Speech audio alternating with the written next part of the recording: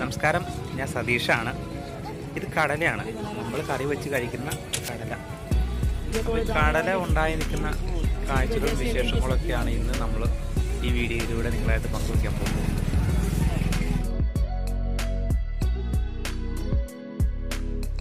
ഇവിടെ മാർക്കറ്റിൽ പച്ചക്കടല ചെടിയോടുകൂടി തന്നെ മേടിക്കാൻ കിട്ടും.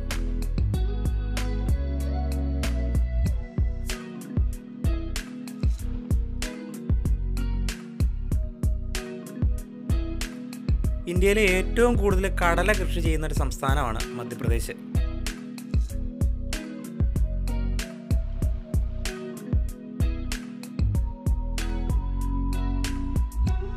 ഈ ചെടികളെല്ലാം ഇപ്പോൾ പൂത്ത് കടല ഉണ്ടായി വരണുള്ളൂ ഇനി ഇതൊരു രണ്ട് മാസം ഒക്കെ കഴിയും. ഇത് പൂർണമായിട്ട് വളർച്ചയെത്തി ഇത് കൊയ്തെടുക്കാനായിട്ട്.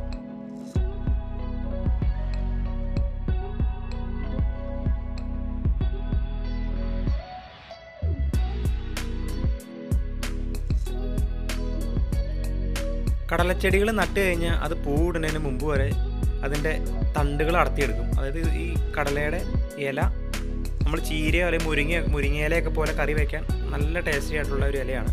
അപ്പോൾ ഇതും നല്ല ഡിമാൻഡാണ് മാർക്കറ്റിൽ ഇവിടെ എല്ലാവരും തന്നെ മേടിച്ച് കറി വെച്ച് കഴിക്കുന്ന ഒരു സാധനമാണ് ഈ കടലയുടെ ഇല എന്ന് പറയുന്നത്. പക്ഷെ ഇത് പൂവിട്ട് കഴിഞ്ഞാൽ പിന്നെ മേടിക്കില്ല. പൂവിട്ട് കഴിഞ്ഞാൽ പിന്നെ സാധാരണ എല്ലാം പോലെ കയ്പായിരിക്കും ഇതിന്. അതുകൊണ്ട് പൂവിട്ട് കഴിഞ്ഞാൽ പിന്നെ ഇത് മാർക്കറ്റിലേക്ക് അങ്ങനെ വലിയ കാര്യമായിട്ട് വരില്ല.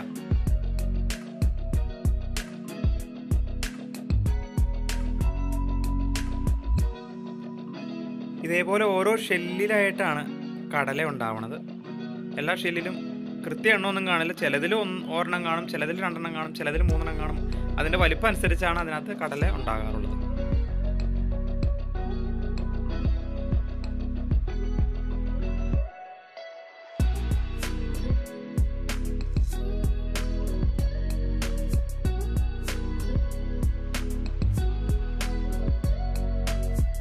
മധ്യപ്രദേശിന് പുറമെ കടല കൃഷി ചെയ്യുന്ന സംസ്ഥാനങ്ങളാണ് രാജസ്ഥാൻ ഗുജറാത്ത് ഉത്തർപ്രദേശ് മഹാരാഷ്ട്ര ആന്ധ്രാപ്രദേശ്.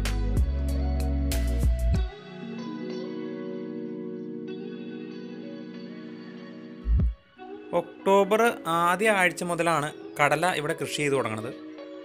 ഒക്ടോബർ മുതൽ ഫെബ്രുവരി മാർച്ച് വരെയാണ് ഈ കടല കൃഷി ചെയ്യണ കാലയളവ്. ഈ കാലയളവിൽ ഇവിടെ തണുപ്പ് കാലാവസ്ഥയാണ്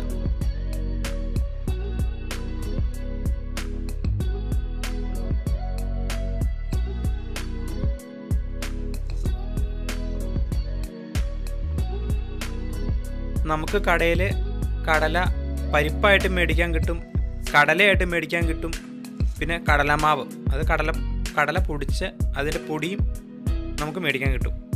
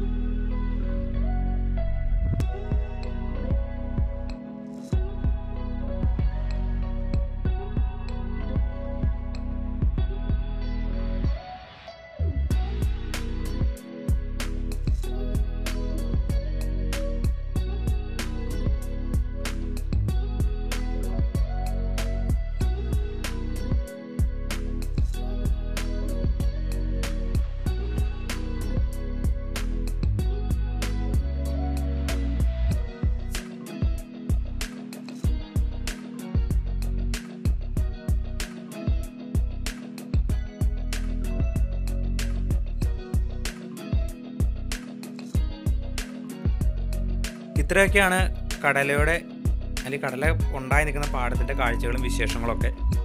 അപ്പോൾ മറ്റൊരു സ്ഥലത്തുനിന്ന് മറ്റൊരു നല്ല വീഡിയോയുമായി കാണുന്നത് വരെ എല്ലാവർക്കും നല്ലൊരു ദിവസം ആശംസിക്കുന്നു. നന്ദി നമസ്കാരം.